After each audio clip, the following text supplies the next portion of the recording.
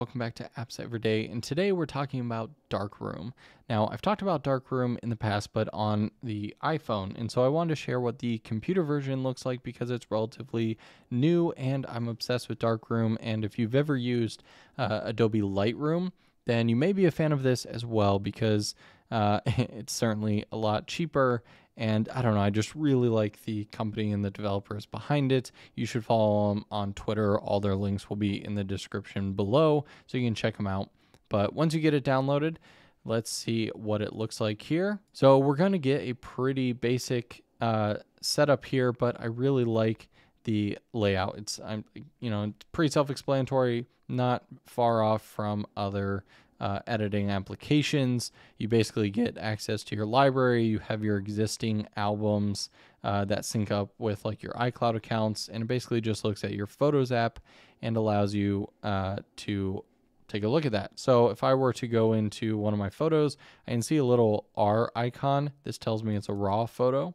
So if I select that here, I still have a look at my library over here. So if you did a bunch of like shots of the same item that you want to quickly kind of sift uh, through, then you can do that on the left hand side. At the top, we're going to get some flagging options. Uh, so you can pick your favorites, you can reject them, uh, you can favorite this, and then you have a nice little menu button so you can export it once you've made some edits. You can hide it, uh, delete it, do a whole bunch of different things. And you have, of course, a delete option right here. As well as to the right, you do have a quick export. So basically does the same thing. Now on the right hand side, this is where we have all of our editing functions. So as soon as I select one, we can see controls start to pop up.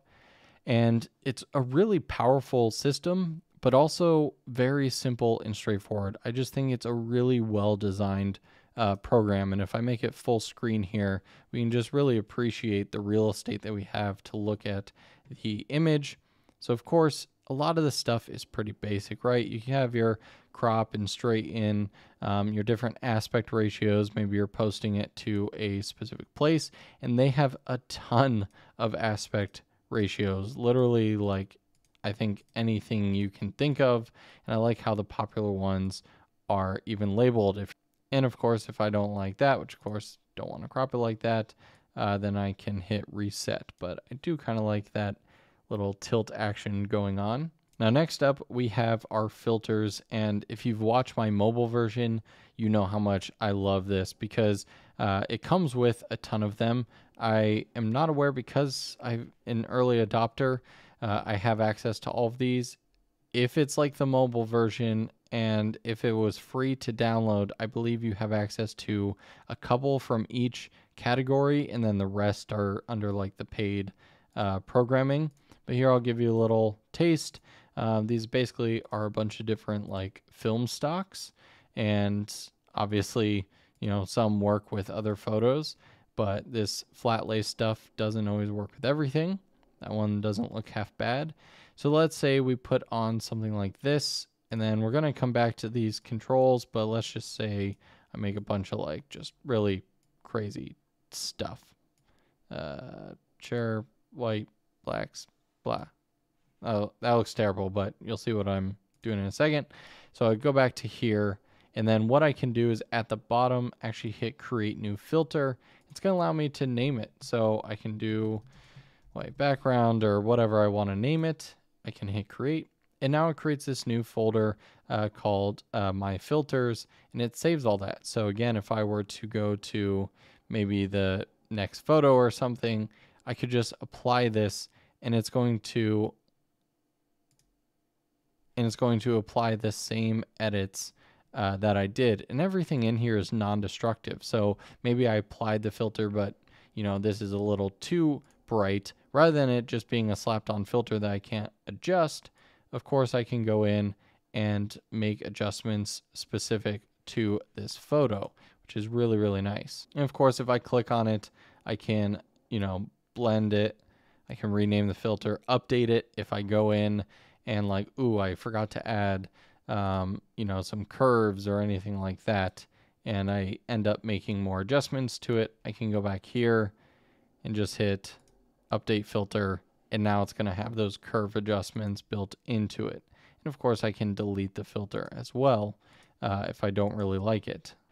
The custom filters is, you know, nothing terribly unique, but the way it's set up, I just really, really like it because a lot of times I'll take pictures in the same area and I love just being able to apply the same filter to a whole collection of images and then just go in and make specific uh, changes as needed. So again, this looks super ugly, so I'm actually going to reset it here and I'm going to go back to the original with no filter on.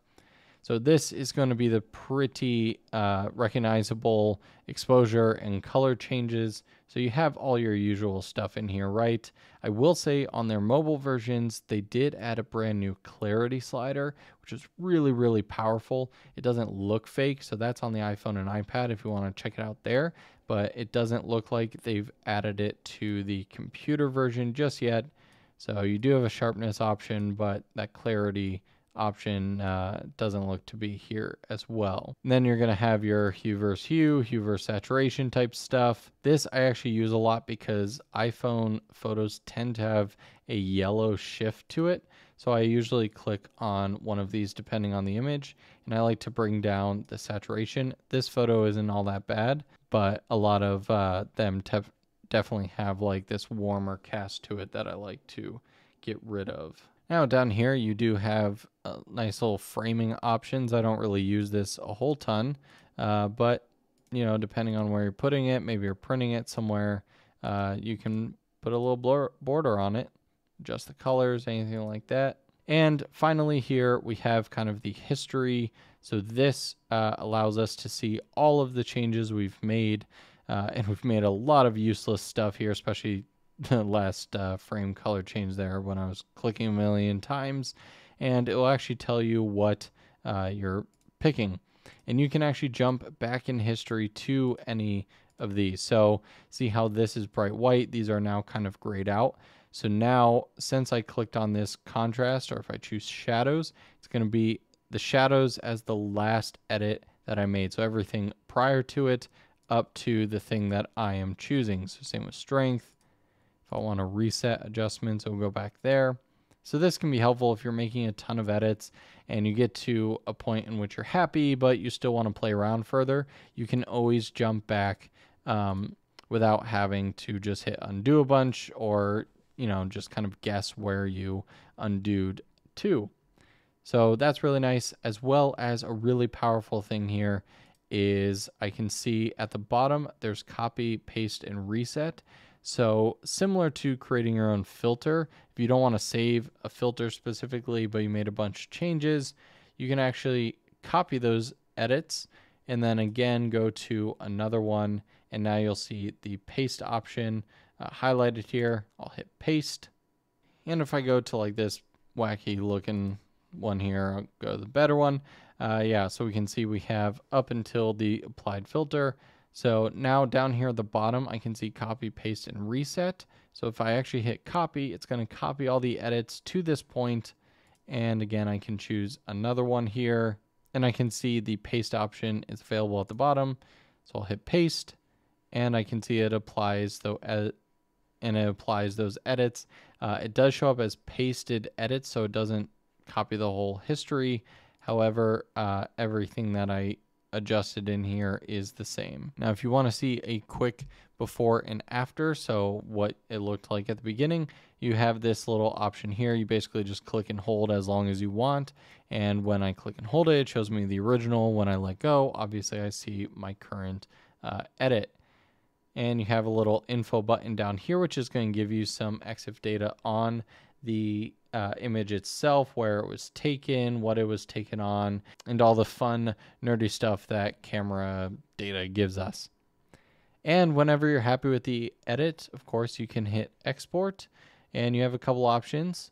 I can actually go under my settings and change my export options. So if you want something super high quality, you can change it to a TIFF format. And uh, I for- and oh yeah, I totally forgot to mention that uh, Darkroom actually fully handles videos as well. So if I go up to this clip right here, and so it's actually really cool and crazy powerful if you think about it, is you make changes as the video uh, plays back in real time. So I'm applying different filters, seeing what I like. I can go in here.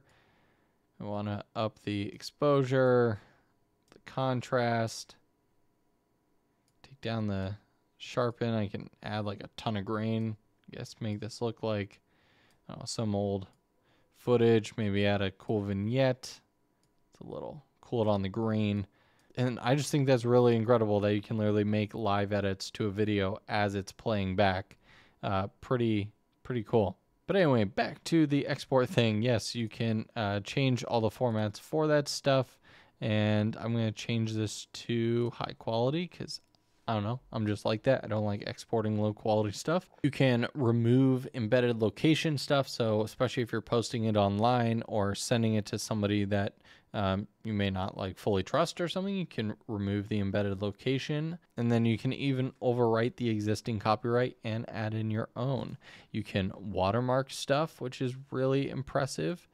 And yeah, some cool export settings there. So yeah, you can save it. Uh, this will replace it in your library. You can see that it overwrites that here. So most of the time what I'll do is save a copy and that automatically creates a new version um, that I can see at the bottom. Now, if you're on the computer like we are now, what you can do is save a copy to, and that's going to allow you to export it to a specific folder on your computer.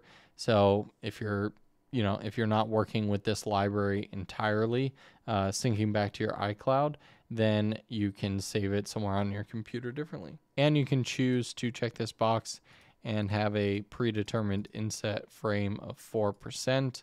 Uh, again, I don't really do that, so I leave it unchecked, but it's cool to have the option there. So there you have it, guys. That is Darkroom on the Mac. Let me know what you guys think about it down in the comments below. And of course, everything will be linked down in the description as well. Thanks so much for watching. I'll see you guys in the next video.